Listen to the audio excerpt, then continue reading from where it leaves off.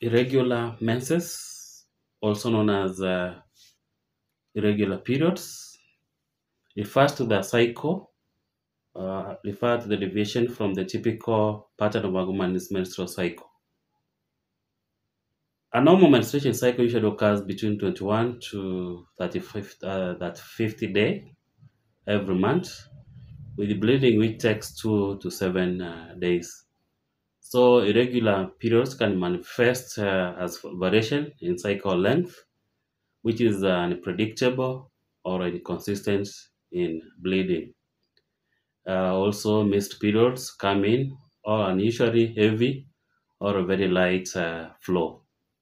These uh, irregularities can come up uh, due to various factors, and uh, one of it is uh, usually hormonal imbalances. Another thing is uh, stress. Another thing which can cause is medical conditions. Another is about lifestyle changes. So, if uh, you are experiencing irregular periods, it is advisable to consult your healthcare provider or healthcare professional for evaluation and also appropriate uh, management. Guys, I want to welcome you to our video today, and uh, the channel is Siocha Talks. This is where we get to talk matters medical in a very simple language in which we get we get to easily understand. And uh, today we're going to talk about irregular periods. Kindly, if you have not subscribed, I want to encourage you to subscribe for any support for the channel also uh, the, we have our details in our uh, channel so that you can get always uh, to support us and also give us nice comment down below give a like and also share it widely uh, so that you get that's the best way you can get to support us so guys what are the causes of uh, irregular uh, periods and uh, today i'm going to, to, to talk about 16 uh, causes of uh, irregular uh, periods uh, that's very important. That's what we're going to talk about uh, uh, today. So, number one is about stress. Emotional or physical stress can disrupt your regular or your menstruation flow or menstrual, menstrual cycle. Stress, such as uh, when one is uh, under stress, so it can be one of the cause of that irregu- uh, regular uh, period. Another thing is about weight changes significant weight gain or a significant uh, weight loss. It can also lead to the problem of the irregular periods. So weight changes, either either by gaining or by losing, can be can affect uh, the way uh, the period period flow is. So weight changes also affects. Also, we have what you call uh, poly- polycystic ovarian syndrome is one of the causes of this uh, problem of the irregular periods. So, and it's a very common uh, disorder that can cause uh, the irregular periods. Uh, previously, I've done something on polycystic uh, uh, ovarian syndrome. Kindly, if you have not watched our videos, you can check on it so that you get to know what it means. Another thing which can cause uh, this problem, number four, is about thyroid uh, disorders. Things like hypothyroidism and also hyperthyroidism can impact the menstrual cycle. So that's one of the things which you can take note about the irregular uh, periods. So thyroid problems can cause or disorders can cause that kind of uh, problems. Whether you have what you call hypothyroidism or hy- hyperthyroidism, it can cause you to have that uh, irregular periods. So another problem which can really affect uh, the regularity of the period is uh, something uh, talking about what we call uh, eating disorders, where one conditions like anorexia and also bulimia can disrupt the hormonal uh, balance. So those uh, eating disorders, uh, nutritionally, they talk about bulimia and also anorexia. Uh, you can also find out what they mean, where one gets to eat or uh, and induces vomiting. Such kind of thing bec- affects also with the nutritional problems. Those eating disorders can affect how one gets into regular periods. Another problem which we can have is about uh, what you call excessive exercise. Especially this uh, problem affects the uh, uh, athletic, the, those pe- people involved in strenuous exercises, such as athletics. It can affect how one gets to respond to regularity of the periods. So when one is involved in excess exercise, especially the ladies, it can affect the regularity of your uh, your your menses. Another thing which can affect the regularity of uh, our periods is what we call birth control.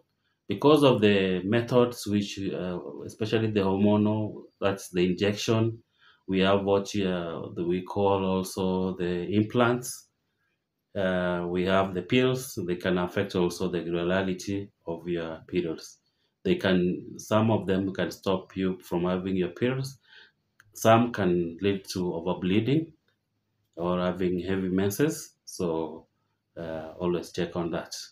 Another problem or another cause of irregular period is when we talk about uh, medication. We have medications which can uh, affect your menstrual cycle.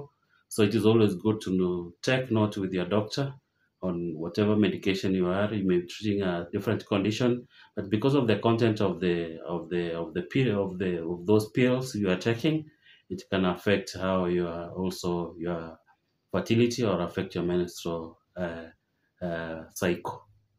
Another thing which can cause uh, irregular periods is what you call uterine fibroids.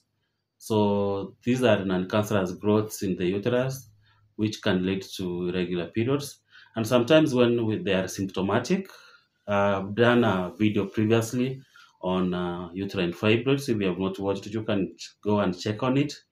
So it can also affect because of the uh, those are growths in the uterus, what we call uterine fibroids or fibroid myomas. It can lead to heavy periods because of the bleeding from those uh, uh, growths from the in the uterus. So they affect the regularity of uh, of your periods. Another problem which can cause irregular periods is what we call PID or pelvic inflammatory, disease. So these uh, infections in the reproductive organs can cause irregular periods. So uh, pelvic inflammatory disease is a very common kind of infection, especially it's a, a complication of other uh, other diseases or, or other conditions, such as um, if you have the venereal diseases, they can have uh, which are go untreated for a long time. They can cause what you call PID or uh, bring about uh, that problem of irregular periods at the end of the day. So another problem is what we call endometriosis. Endometriosis is a condition where tissue similar to the uterine lining grows outside the, the uterus. So endometrio- endometriosis also can lead to irregular periods. Another problem is about the cervical or the uterine polyps. We have some growths which are in the uterus and also outside the at the at the cervix. So we call them polyps. So there are also non-cancerous growths on the cervix or inside the the uterus, so which can also bleed and also bring about a problem of uh, irregular periods. Another um, another cause of irregular periods is when uh, uh, postpartumly or after giving birth, where you get irregular periods are, are, are also very common, especially with the breastfeeding mothers. So breast, breastfeeding also can be the cause of uh, uh, irregular periods because they also can affect uh, the flow of uh, your periods at any, any kind of at the end of, end of, the, of the day. And uh, last but not least, the list is about when we talk about clo- uh, chronic illnesses such as uh, diabetes or inflammatory diseases, which can cause also the irregular periods. So we have some complications of irregular periods, and I wanted to share in brief on what uh, it, it also entails.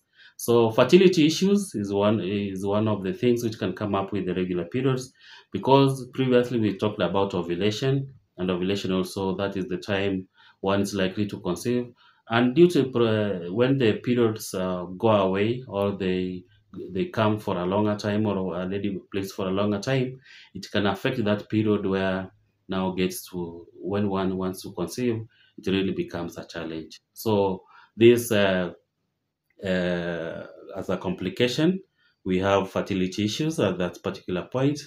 And also as a complication of irregular periods, what we have what you call uh, polycystic ovarian syndrome, which is a common condition that causes irregular periods. I've, uh, mentioned it above, and also can lead to complications like health complications, including the heart and also uh, diabetes at the same time. Uh, so, as a complication of irregular periods, POC, PCO, POC, PCOCs can be also, or polycystic ovarian syndrome, can come as a complication of irregular periods. So, we also have endometrial issues. Irregular or infrequent uh, period may increase the risk of endometrial hyperplasia or the thickening of the uterine lining. And this one can be of a great risk, which can be a precursor to the uterine uh, cancer. So it also becomes as a complication. Another uh, common complications of irregular periods, uh, because especially when we have a heavy flow or uh, lady bleeds for a longer period of time, we said it takes from two to seven days, but there are those uh, heavy periods which come at the end of the day and what comes out actually during the period is the bleeding or the blood comes out. So anemia becomes a complication of this uh, irregular period. Ovarian cysts can also be a complication of irregular periods because uh, this kind of irregular periods can be associated with the conditions like PCO, uh, polycystic uh, uh, ovarian syndrome, so that uh, the ovarian cyst also may be involved. So they may because of these uh, ovarian cysts being formed from the uh, PCOC, so they, it comes as a complication of uh, irregular periods. Also, emotional distress, the, uh, because of the uncertainty and also unpredictability of uh, the periods, uh, can cause stress to the lady and affect the person's quality of life, especially if the lady has heavy menses and goes uh, which go for a longer time, period of time, that lady is likely to develop some stress over the same, and also about uh, uh, when those periods go for a longer time. I'm told the ladies feel very uh, okay. I don't know about you. Maybe you can give me a comment down below. It's that it is a, there's a kind of satisfaction which come about when a lady gets a flow or gets a periods. So when they go missing, uh, that becomes a stress for this kind of a, of a, of a lady. So we have that emotional distress. Or when it comes for a longer period of time, it's really stressing because also it involves inconveniencing that lady at that particular time uh, because uh, or you always have to change and also ensure that your uh, hygiene conditions are up to, up, up to date. So it is really, uh, can, can bring about the emotional distress. Also, as a complication, bone health can be a problem also because irregular periods in some cases may result from hormonal imbalances, which can impact the bone health, potentially leading to what you call osteoporosis. So because of the loss, uh, loss of that uh, iron for a long period of time, we may have com bone complications at, the, at, the, at that particular point. So it's my advice, guys, that uh, with those irregular periods, it's always good to seek the opinion of your healthcare provider on the cause to find out the cause and also to seek the best approach on how you can get managed at that particular time so that you get that health advice or getting the right treatment so that we don't lead it to complication. Most of the time we want to do the prevention part of it before we get to the complication part of uh, the irregular periods. Guys, welcome and I also want to welcome you to our next video. Thank you very much.